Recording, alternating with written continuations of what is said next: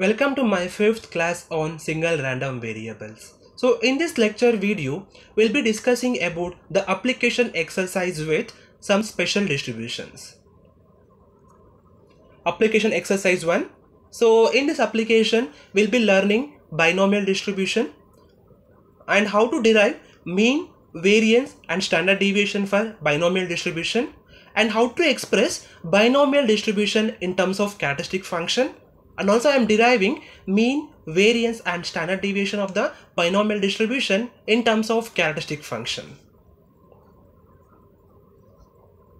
So before learning about binomial distribution, we have to know about Bernoulli trials. The first condition in Bernoulli trial is each trial having only two outcomes. One is success and one more is failure. The second condition is each trial must be independent always. The third condition is only finite number of repeated trials can be performed here. I mean this binomial distribution is an finite distribution. So it is nothing but so this binomial distribution belongs to the discrete random variable cases. Now statement for binomial distribution. A random variable x is called binomial random variable with the parameters n comma p. So where this n stands for number of trials and it is a finite quantity and p is nothing but probability of success and its PMF. I mean the probability mass function is given by p of x is equal to k. This is in turn equal to nck p power k q power n minus k. So where the range of x k is given by 0, 1, 2, 3 till n and p is nothing but probability of success with the range 0 less than or equal to p less than or equal to 1 and q is nothing but probability of failure that is p plus q is equal to 1. I mean to estimate the value of q we'll be using the value of p here and the combination nck can be expanded like n factorial by k factorial into n minus k factorial.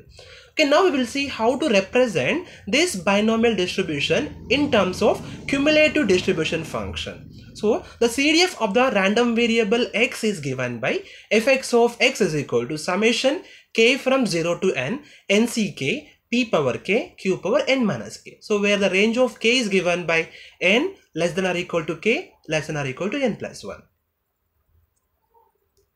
Now the graphical representation of PMF and CDF for binomial distribution. So now to represent some graph, I am taking an example with n is equal to 6 and p is equal to 0.6. It is nothing but the number of trials are 0.6 here and the probability of success I am taking 0.6. So I'll be incorporating this n value p value in the previous PMF equation and also in the CDF equation. So after replacing and after simplifying with k is equal to some values, we'll be getting the values for PMF as well as CDF. So now I'll be plotting that particular points in the graph form like this. So this is a PMF plot for the value n is equal to 6 and p is equal to 0.6 and this is a CDF plot for n is equal to 6 and p is equal to 0.6. So now we will learn how to derive mean, variance and standard deviation of the binomial distribution. So since I told like the binomial distribution is a discrete random variable, so I'll be representing the mean, variance and standard deviation in the case of discrete random variable only. So for this, I'm taking the binomial distribution formula. We have p of x is equal to k nck p power k q power n minus k for k is equal to 0 1 2 3 and so on. So now for the discrete random variable x the expectation formula is given by expectation of x is equal to summation x into p of x. So now in the place of p of x i'll be replacing p of x is equal to nck p power k q power n minus k. So since i'm using x is equal to k here so i'll be replacing x is equal to k here also like this. So I got the equation like summation k from 0 to n k nck p power k into q power n minus k. So now uh, I'm replacing the value of nck here. This nck is nothing but a combination that is n factorial by k factorial into n minus k factorial. So I'll be getting the equation like summation k from 0 to n k n factorial by k factorial into n minus k factorial p power k q power n minus k. So now our job is to eliminate this k term from the expression. So to cancel this k term, I'm expanding k factorial as k into k minus 1 factorial. So now the equation leads to summation k from 0 to n, k n factorial by k into k minus 1 factorial, n minus k factorial, p power k, q power n minus k. So now I can cancel this k term. So now as, as so now the function having the in terms of k minus 1 factorial, the value of k start from now 1 to infinity because we don't have the value for minus 1 factorial. So for that purpose, I'll be starting the summation k start from 1 to n and I'll be representing all the terms in terms of minus 1 that is i'm expanding n factorial as n into n minus 1 factorial keeping k minus 1 factorial as it is. And same thing is also i'm representing n minus k factorial as n minus 1 minus of k minus 1 factorial. And same thing for p power k also. I'm adding 1 and subtracting 1 i got p power k minus 1 plus 1 and same thing for n minus k also. It will be equal to q power uh, q power n minus 1 minus k minus 1 so now uh, from this expression, I can take one p term outside, one n term outside because this is free from the k variable. So I can take n into p outside here. So what we'll get now? So I'm taking n into p outside. I got the expression like summation k from 1 to n, n minus 1 factorial by k minus 1 factorial, n minus 1 minus of k minus 1 factorial, p power k minus 1, q power n minus 1 minus k minus 1. Now this is nothing but n minus 1 c k minus 1 we can write here. So np into summation k from 1 to n, n minus 1 c k minus 1, p power k minus 1, q power n minus 1 minus of k minus 1. So this complete thing is nothing but p plus q whole power n minus 1. And since we have the formula p plus q is equal to 1, I can put p plus q is equal to 1 here. So I'll be getting expectation of x is equal to np into 1 power n minus 1 and 1 power n minus 1 will be equal to 1 itself. So I got the expectation of x is equal to np. Similarly, now I'll be finding expectation of x square because to find the variance of x, we need the value of expectation of x square. So now to find this expectation of x square, I'm going to simplify x square in a small way. So like how means I'm adding plus x and subtracting my plus x here. So I'll be getting this equation expectation of x square minus x plus x and from this equation I'm taking one x term common factor I'll be getting expectation of x into x minus 1 plus x. So now uh, by the properties of expectation, I can expand this uh, equation like expectation of x into x minus 1 plus expectation of x. So now uh, I'm going to find only expectation of x into x minus 1 because already I know the value of expectation of x is np here. So I'm not going to find expectation of x. I'm finding only expectation of x into x minus 1. So now take the formula expectation of x into x minus 1. The formula will be summation x into x minus 1 p of x. So now I'm going to replace p of x and I'm, I'm using x is equal to k here. So I'll, I'll be representing all x terms in terms of k only. So summation k from 0 to n, k, k minus 1, nck, p power k, q power n minus k. So now same thing again, I'm expanding nck first. So I'll be getting summation k from 0 to n, k, k minus 1, expanding nck as n factorial by k factorial into n minus k factorial, p power k, q power n minus k as it is. Now same thing again like a previous one. To eliminate this k into k minus 1, I'm going to expand k factorial as k, k minus 1, k minus 2 factorial. So that I can eliminate k into k minus 1 from the ex expression. So now I got the expression like this summation k from 0 to n k k minus 1 n factorial by k k minus 1 k minus 2 factorial n minus k factorial p power k q, q power n minus k. So now I can cancel this k into k minus 1 with this equation this term. So now I got the expression like n factorial by k minus 2 factorial n minus k factorial p power k q power n minus k. So since the expression having k minus 2 factorial so now uh, start the summation from k from 2 to n. So k from 2 to n and I'll be representing all the terms in the expression in terms of n minus 2 only. So expanding n factorial as n into n minus 1 n minus 2 factorial keeping k minus 2 factorial as it is and representing n minus k factorial as n minus 2 minus of k minus 2 factorial. This is because of adding 2 subtracting 2 and same thing here also adding 2 subtracting 2 I got k power p power k minus 2 plus 2 and same thing here also q power n minus 2 k minus 2. So I can take uh, n into n minus 1 p square outside as a constant. So I got n into n minus 1 p square. Summation k from 2 to n. n minus 2 factorial k minus 2 factorial n minus 2 minus of k minus 2 factorial p power k minus 2 q power n minus 2 minus k minus 2 so this is nothing but the combination again. So it will be equal to n into n minus 1 p square. Summation k from 2 to n.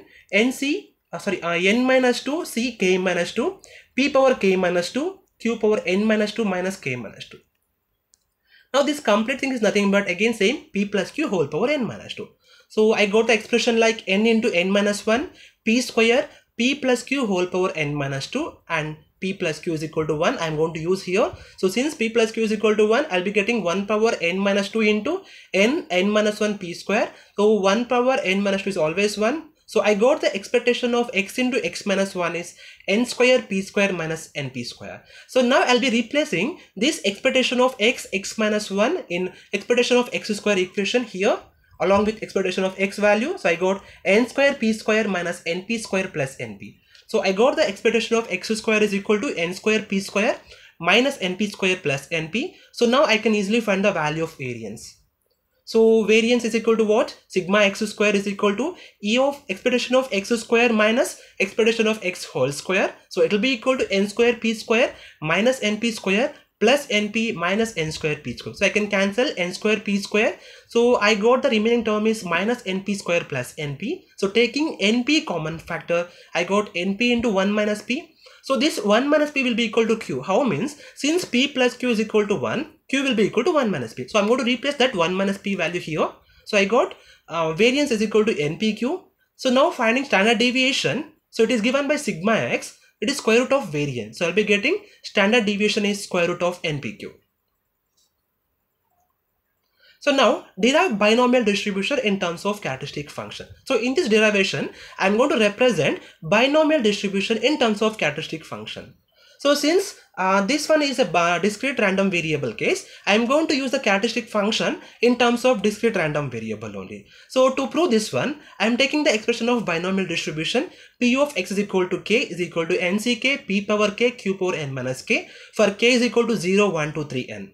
So now take the formula for characteristic function xi x of omega is equal to expectation e power j omega x summation i e power j omega xi px of xi. So in the place of p of px of xi, I'm going to replace the binomial distribution formula that is uh, nk p power k q power n minus k. So same thing here also since I'm representing all the x terms in terms of k variable I'm converting the x term here also in terms of k only.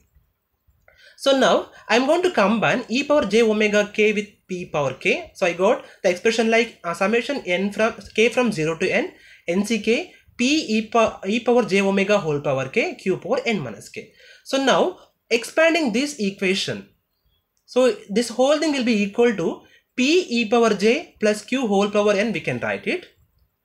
So this is the expression for binomial distribution in terms of characteristic function. So now to check this expression is true or not, I'm going to replace omega is equal to 0. Like after replacing omega is equal to 0, the value must be equal to 1 we have to get. So now I'll put omega is equal to 0 here. I'll be getting p into e power 0 plus q into o, uh, whole power n. I got p plus q whole power n, it is equal to 1 power n it is 1. So I got the xi x of 0 is equal to 1. So hence the expression for characteristic function is true in the binomial distribution case. So now derive mean, variance and standard deviation of the binomial distribution in terms of characteristic function. This proof is very much important according to examination point of view. So now we will derive the mean, variance and standard deviation for the binomial distribution in terms of characteristic function. So to prove this one, take the expression of the binomial distribution in terms of characteristic function that is xi x of omega is equal to p e power j omega plus q power q whole power n. So now to find the expectation of x I am going to use the same characteristic function formula only. So that is expectation of x is equal to d by dj omega xi x of omega at omega is equal to 0. So now I'll be replacing xi x of omega is equal to p e power j omega plus q whole power n so I got the expression like expectation of x is equal to d by d uh, j omega p into e power j omega plus q whole power n. So now differentiating this expression with respect to j omega, we got the expression like n into p e power j omega plus q power whole uh, q whole power n minus 1 and differentiating this p into e power j omega will be getting p into e power j omega only. So now I'm going to replace omega is equal to 0 in this expression.